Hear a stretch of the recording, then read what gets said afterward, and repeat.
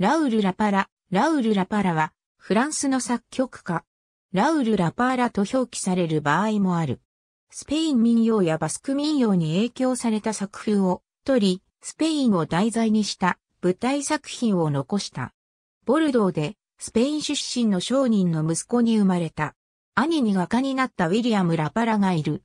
3歳で最初の演奏会を開く。パリ音楽院に進んで、アルベール・ラビニャックやアンドレ・ジェダルジュ、ジュール・マスネラに指示。1903年にカンタータ、オデュッセウス・ユリスにより、ローマ大賞を受賞。弦楽四重奏曲、クワトゥア・ディー、アーキッツ、バイオリンソナタイ単調ソナタ、イエヌ・ラミネール・ポア・ビオロン・イピアノ、スペイン民謡の主題による歌曲メロジージュールでテム・ポプレア・エスポニオール、バスクの日曜日ディマンシュ・バスク、ドン・キホーテの周りで、エンマージ・デダン・キーショートなどを作曲。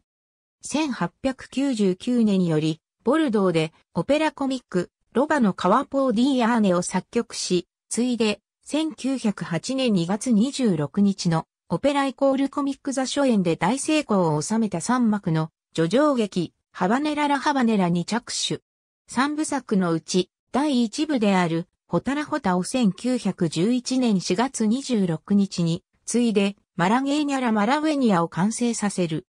ビオールソーシャレジューアでビオールは、オペライコールコミック座にて1925年12月24日に初演され、一方のサルスエラ、名詞、フレゴナエル、イーラストラ・フラゴナはオペラ座に舞台を変えて、1931年2月16日に上演された。また、メネストレル神及びマタン神にて音楽評論家を務める傍ら、パリ音楽院の教団に立ち、とりわけ、クロード・シャンパーニュやジェマル・レシットレーラを育成した。